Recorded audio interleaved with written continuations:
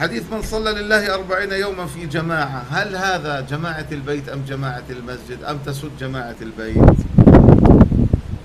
آه، حقيقة دائما القاعدة في الأحاديث أن العبرة دائما هي ماذا؟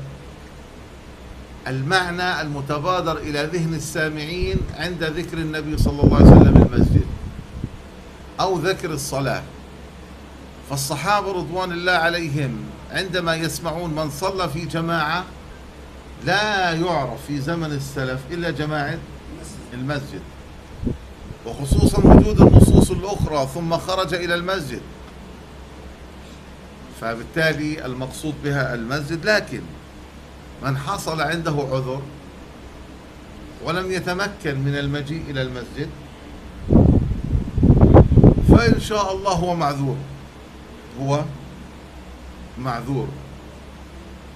وأجره بإذن الله محفوظ. إنسان مرض خلال الأربعين يوما. فلم يستطع أن يشهد الجماعة. صار كورونا وسكروا الجوامع. ولا حول ولا قوة إلا بالله. فأجره محفوظ على نيته.